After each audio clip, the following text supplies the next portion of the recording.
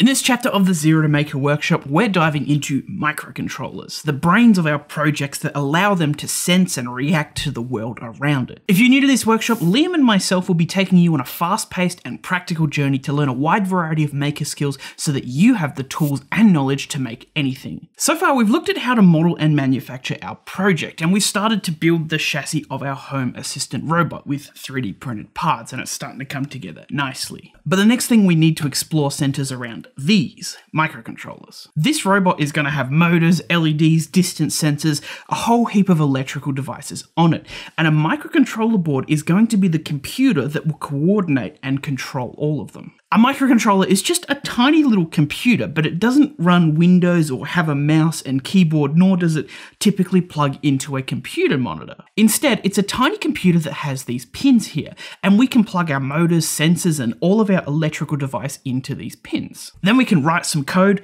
upload it to the board, and this code that we put onto it tells the microcontroller what to do with the things we've plugged in.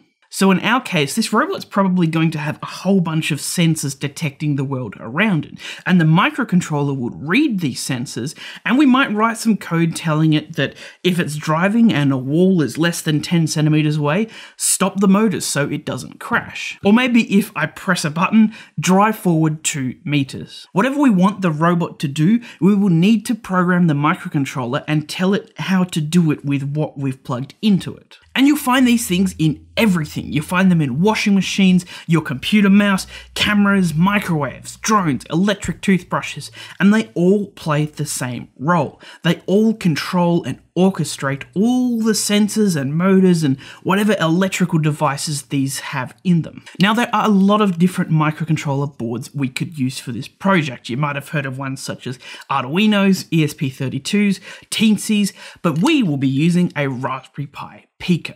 Why? Well, we could have an entire video looking at the pros and cons of all these different microcontroller boards, but long story short, the Pico is pretty fast, it has a decent amount of pins that we can use, it's got Bluetooth and Wi-Fi capabilities, and it's a bit less expensive than the other options. Realistically, I could have used any of these microcontrollers, but the Pico is a better fit. And there really isn't a wrong or right choice in microcontroller, it's more so choosing one that best suits your project. For example, Liam is using an ESP32 because they have some features that he really needs to use and he's more familiar with them. Another consideration to make is what programming language will we use? We don't use human language to tell a microcontroller what to do.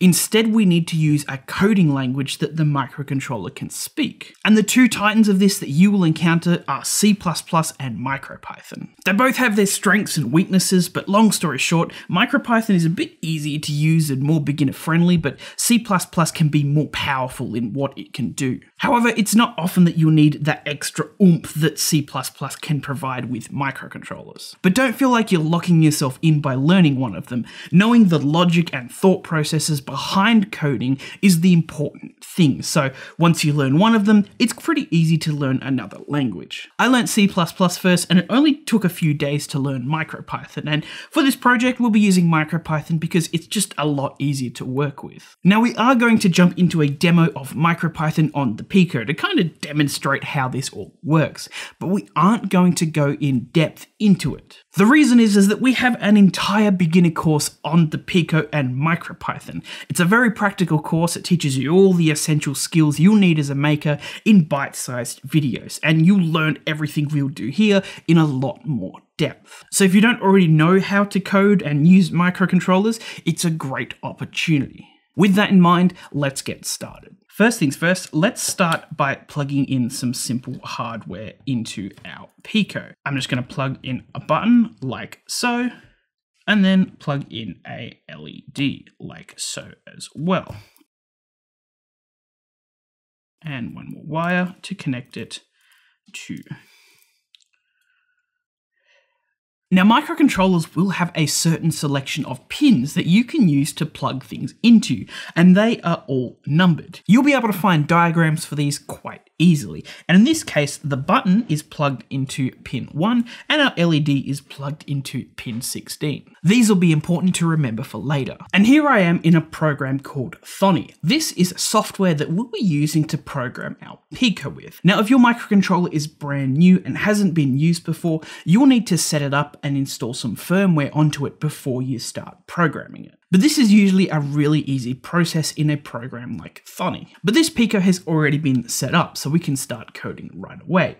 And here is a very basic program I've written for this hardware. Now, code is going to read from top to bottom in order, and most code is going to sort of follow the same structure. At the very top here, we start by importing the required things that we need to build our program with. These are called libraries. After that, we go through and set up the other things we need. So here we're setting up the hardware that we have plugged into our Pico. We're saying that we've got an LED plugged into pin 16, and we've also got a button plugged into pin 1. Remember how we said those numbers would be important for later? These will be important to remember for later. We need to tell the Pico where we've plugged this hardware, and then this is basically telling the Pico the things that are plugged into it and in which pins.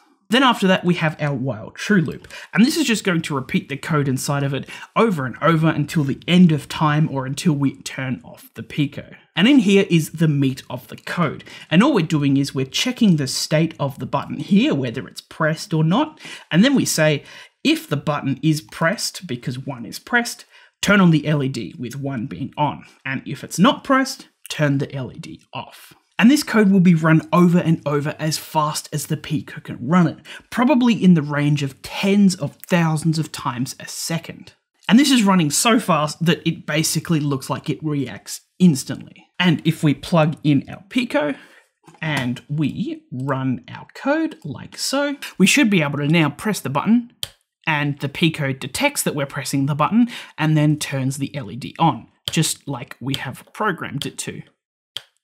But you could do this very easily without a microcontroller. A button is just a switch, and if we connected this LED to a battery with the button, we can just press the button and the LED will turn on. Well, this is where microcontrollers get really powerful. With the exact same hardware plugged in, we can wildly change the behavior of this system by changing the code. For example, I can come in here and I can add a sleep function, which is basically just going to pause the Pico and I'm going to tell it to sleep for three seconds on that end and sleep for three seconds on that end. And if I upload this code to the Pico, now when I press the button, it should wait for three seconds as it goes into that sleep and then turn the LED on.